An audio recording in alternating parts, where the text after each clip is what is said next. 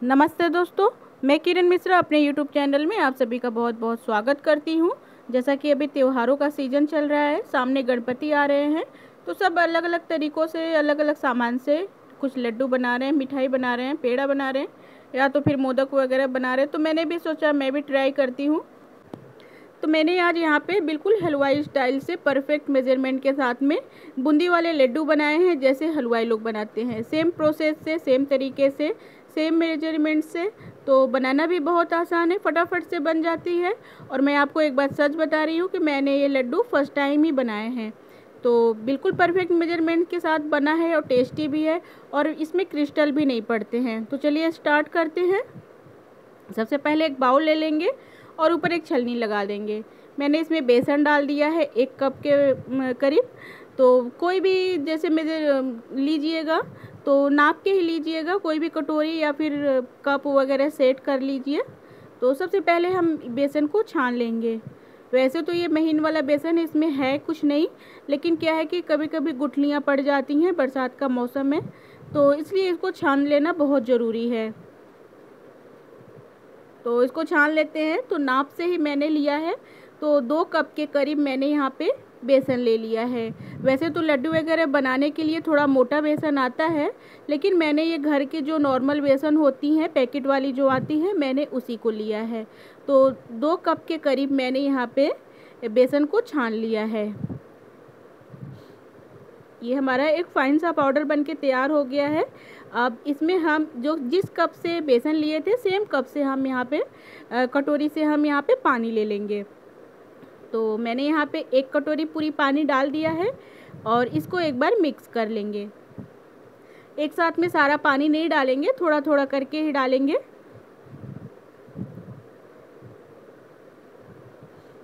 तो इसको मैंने कर लिया है, उसके बाद एक कप और ले लेते हैं।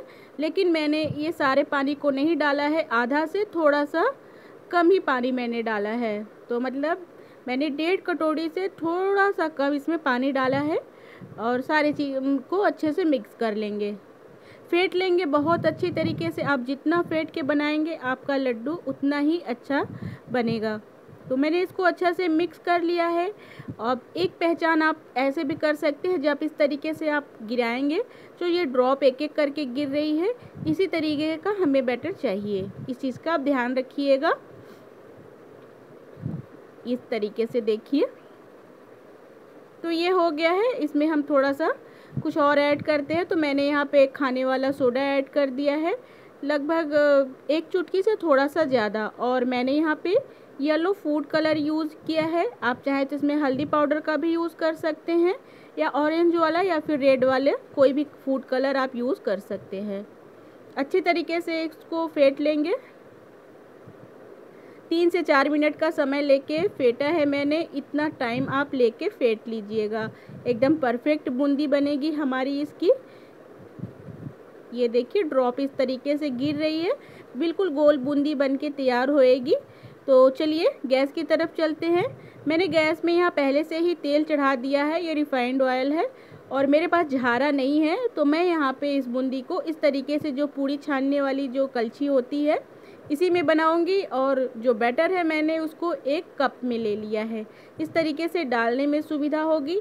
एक साथ में बहुत सारा हम नहीं डालेंगे। धीरे धीरे करके थोड़ा थोड़ा करके ही डालेंगे। इस चीज़ का आप ध्यान रखिएगा। एक साथ में नहीं डालेंगे। ये जैसे जैसे गर्म होएगी, बूंदियाँ हमारी सब साइड होती जाएँगी। तो ये देखिए। और जैसे कि एक दो आपस में चिपकी रहती है तो आप जो कलछी से इस तरीके से हल्का हल्का तोड़ देंगे तो वो आपस में छूट जाएँगी। तो ये हो गई हैं। मैंने इन्हें उलट पलट के कम से कम तीन से चार मिनट सेक लिया है और बूंदियों को हम छान के निकाल लेंगे सारे को। ये जो आपस में थोड़ी चिपकी हुई हैं, वो भी सब अलग हो जाएँगी। तो मैंने सारा का एक बार में निकाल लिया है और दूसरे बैच का इसमें डाल दिया है। आप देख रहे हैं एक एक बूंद करके ही इसमें से निकल रही है। तो वो तो रेडी हो गया है। अब हम यहाँ पे चाशनी बना लेते हैं। जब हम ये बूंदी वाली लड्डू बनाते हैं तो पहले से चाशनी बना के रेडी नहीं रखते हैं, बाद में ही बनाते हैं। तो जितना मैंने बेसन लिया था, उतना ही मैंने यहाँ पे चीनी ले लिया है। और सेम क्वांटिटी में यहाँ पे हम पानी ले लेंगे। मतलब दो कप ही पानी लिया है मैंने। दो कप चीनी, दो कप पानी। बिल्कुल परफेक्ट लड्डू बन के हमारा तैयार होएगा। जितना बेसन, उतना चीनी, उतना पानी। ये हो गया है। एक बॉयल आने देते हैं। तो इसमें एक बॉयल देखिए आ गया है। तो हमें ये इस चाशनी को कोई तार वगैरह की चाशनी नहीं बनानी है। इसको जब बॉयल होने लगे तो इसमें मैंने थोड़े से कूट के इलायची पाउडर डाल दिया है। फ्रेश इलायची पाउडर का टेस्ट बहुत अच्छा लगता है। और साथ में ही मैंने इसमें थोड़ा सा फ़ूड कलर डाला है। मैंने येलो फ़ूड कलर डाला है। आप कोई सा भी डाल सकते हैं। और इन्हें हम पकने देते हैं। बहुत ज़्यादा हमें नहीं पकाना है। ये थोड़े से इसमें उबाल आ जाए तो बंद कर देंगे। तो मैंने ये देखिए मेरी बूंदी सब कितनी अच्छी बन के तैयार हुई है। और जैसे एक दो थोड़ी मोटी रह जाती है ना तो आप उन्हें थोड़ा सा हाथ से दबा देंगे तो इस तरीके से ये टुकड़ों में हो जाएगी। तो बिना झारे की ये बूंदी हमारी बहुत अच्छी बन के तैयार हुई है। आप इन्हें स्टोर भी करके रख सकते हैं। तो चलिए गैस की तरफ़ चलते हैं। तो चाशनी लगभग हमारी बन के तैयार हो गई है। जैसे मैंने बोला, कोई तार वगैरह की चाशनी नहीं बनानी है। जैसे गुलाब जामुन वगैरह की होती है, थोड़ी चिपचिपी सी ऑयली सी तो उस तरीके की हमें चाशनी बनानी है। तो हाथ में लेके थोड़ा ट्राई कर सकते हैं।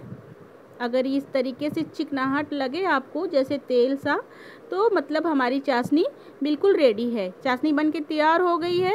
गैस की फ्लेम को बिल्कुल लो कर देंगे। अभी गैस मैंने बंद नहीं किया है और धीरे धीरे करके अपने जो सारी बूंदी है उसको मैंने डाल दिया। इसको डाल लेने के बाद इसको हम अच्छी तरीके से मिक्स करेंगे। गैस की फ्लेम को मैंने लो किया है, बंद नहीं करना है, हलवाई लोग इसी तरीके से बनाते हैं। उसके बाद ढक्कन लगा के हम इसको तीन से चार मिनट तक ऐसे ही गर्म होने देंगे। तीन से चार मिनट के बाद मैंने गैस से उतार लिया था और ये देखिए बिल्कुल भी नीचे में सीरा नहीं है, बिल्कुल सारा जो बूंदी है सीरा को सोख कर लिया है और ये हमारा परफेक्ट लड्डू बनने के लिए तैयार हो। आप चाहे तो इसमें कुछ ड्राई फ्रूट्स वगैरह भी डाल सकते हैं, लेकिन मैं इसमें नहीं डाल रही हूँ। और अभी ये थोड़ा गरम गरम है तो आप एक चम्मच ले लीजिए ताकि एक साइज़ का आपका लड्डू बन के तैयार होए। इस तरीके से हम अपने लड्डू को बना लेंगे। ये बनाने में भी बहुत सुविधाजनक होती है, बहुत फटाफट से बन के तैयार होती है और थोड़ा सा ये गर्म है तो ऊपर ऊपर का लेते जाएँगे, नीचे का फैलाते जाएँगे तो हमारी फटाफट से ये लड्डू बन के तैयार हो जाएगी। हम इसी तरीके से अपने सारे जो लड्डू हैं उसको बना के तैयार कर लेंगे। आप साइज़ अपने हिसाब से रख सकते हैं छोटा बड़ा तो ये देखिए, मैंने सारे लड्डुओं को बना के तैयार कर लिया है। ऊपर से मैंने सिर्फ़ गार्निश के लिए थोड़े एक एक जो टुकड़े होते हैं काजू को, उसको लगा दिया है। आप किसी भी तरीके से इनको गार्निश कर सकते हैं। बहुत ही परफेक्ट मेज़रमेंट के साथ मैंने ये लड्डू बनाया है और ये वीडियो मैं आज तीन चार दिन के बाद अपलोड कर रही हूँ। और ये लड्डू फिर भी बिल्कुल फ्रेश लग रहे हैं। बिल्कुल क्रिस्टल नहीं पड़ते हैं इसमें। इस तरीके से बनाइएगा एक परफेक्ट मेज़रमेंट के साथ।